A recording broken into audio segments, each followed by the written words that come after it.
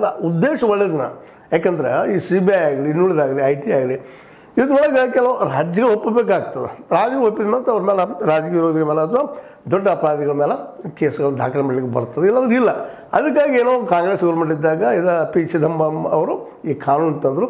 ಆದರೆ ಇವತ್ತು ಅವರಿಗೆ ಮುಳುವಾಗಿಬಿಟ್ಟರು ಅವರು.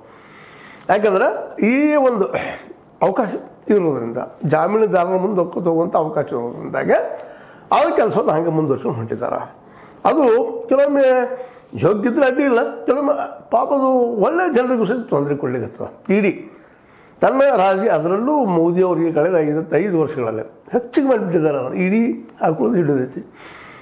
ತಮ್ಮ ರಾಜಕೀಯ ವೈದ್ಯಗಳನ್ನು ದಮನ ಮಾಡುವಂತೆ. ಇದು ನಾವು ಕಣ್ಣಿಗೆ ಕಾಣ್ತಾ ಇದ್ದೀವಿ ಎಲ್ಲರಿಗೂ. ಅದರ ದೃಷ್ಟಿ ಇಟ್ಕೊಂಡು ಅವ್ರು ಪ್ರಶ್ನೆ ಮಾಡ್ತಾರೆ, ಇದಕ್ಕೆ ನೀವು ಏನಾದರೂ ಒಂದು ಮಾಡ್ರಿ ಅಂತ.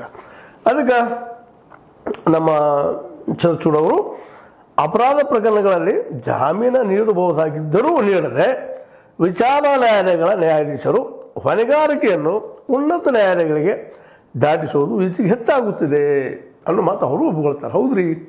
ಈಗ ಈಗ ಭಾಳ ಹೆಚ್ಚಾಗಿರ್ತದೆ ಅವರು ಅಲ್ಲೇ ನಿರ್ಧಾರ ಮಾಡೋದು ಸಾಧ್ಯ ಮಾಡುವುದಿಲ್ಲ ಯಾಕೆ? ಅದಕ್ಕೆ ಅವರು ಒಂದು ತಮ್ಮದೇ ಆದ ಉತ್ತರ ಹುಡುಕಿ ಹೇಳ್ತಾ ಇರ್ತಾರೆ. ಇಲ್ಲ, ಜನಸಾಮಾನ್ಯರು ಮತ್ತು ಅಲ್ಲಿ ಆಡಳಿತಾರೂಢ ಪಕ್ಷದಲ್ಲಿ ಯಾರೋ ಆಗಲಿ ಅವ್ರು ಸಂಸ್ಥೆಗೆ ಒಳಗಾಗ್ತದೆ ಇವರೇ ಲಾಭ ಮಾಡ್ಕೊಂಡ್ರೆ ಆಂಬಲ್ಲ ಅಂತೇಳಿ.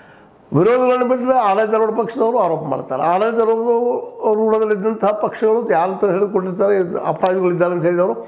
ಒಂದು ವೇಳೆ ಅವ್ರು ಹೇಳ್ತಿರ್ತಾರೆ, ವಿರೋಧಗಳು ಆರೋಪ ಮಾಡ್ತಾರೆ. ಹೀಗಾಗಿ ನಮಗೂ ಕಷ್ಟ ಆಗಿದ್ರೆ ಆ ವಿಷಯದಲ್ಲಿ. ಯಾವ ರೀತಿ ನಿರ್ಣಯಿಸ್ಕೊಳ್ಬೇಕು ಅನ್ನುವಂಥದ್ದು ಅಂತೇಳಿ ಅವ್ರು ಹೇಳ್ತಾರೆ. ಆದರೆ ಹೇಳೋದ್ರಿಂದ ಬಗೆಹರಿಲಿಲ್ಲ ಸಮಸ್ಯೆ.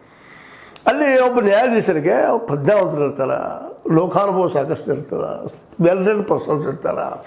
ಇವೆಲ್ಲ ಇದ್ದಾಗ ಅಲ್ಲಿ ತಪ್ಪು ಸರಿನೋ ಅವ್ರ ಮನವರಿಗೆ ಆಗ್ತಿರ್ತದೆ ಅವ್ರು ಹೇಳೋದ್ರ ಮೇಲೆ ಇಲ್ಲ ಅಂತಲ್ಲ ಯಾಕಪ್ಪ ಅಂತಂದ್ರೆ ಅದಕ್ಕಾಗಿ ನಾವು ನ್ಯಾಯಾಧೀಶರನ್ನ ಮಾಡಿರ್ತೀವಿ. ಅವ್ರು ಆಯ್ಕೆ ಆಗಿರ್ತಾರೆ. ನಾವು ಮಾಡಿದ್ವಿ ಅವ್ರು ಆಯ್ಕೆ ಆಗಿರ್ತಾರೆ. ಯಾಕಂತಂದ್ರೆ ಜನರಿಂದ ಆಯ್ಕೆ ಆಗೋರಲ್ಲ ಅವರು. ತಮ್ಮ ವಿದ್ವತ್ತಿನಿಂದ, ಸಂವಿಧಾನ ಜ್ಞಾನದಿಂದ, ಅದರಲ್ಲೂ ಕಾನೂನುಗಳ ಜ್ಞಾನದಿಂದ ಅವರು ಆ ಪಂಡಿತರು ಇರ್ತಾರೆ.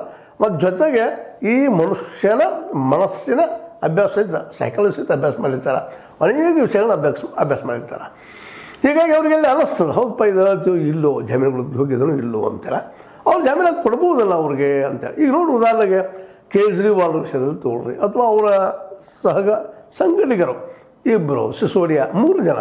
ಸಂಜಯ್ ಸಿಂಗ್, ಸಿಸೋಡಿಯಾ ಮತ್ತು ಇನ್ನೊಬ್ಬರು ಜೈನ್ ಅಂತೇಳಿ ಇನ್ನೂ ಅನೇಕ ಬೇರೆ ಬೇರೆ ಪಾ ಪಾರ್ಟಿಲಿದ್ದಂಥವ್ರು ಅದೇ ಕಾಲಕ್ಕೆ ಜಾರ್ಖಂಡದ ಮನೆ ಅವ್ರಿಗೆ ಜಾಮೀನು ಸಿಕ್ತು, ಹೇಮಂತ್ ಸೊರೇನ್ ಅವ್ರಿಗೆ. ಇನ್ನೂ ಭಾಳ ಜನ ಇದ್ದಾರೆ.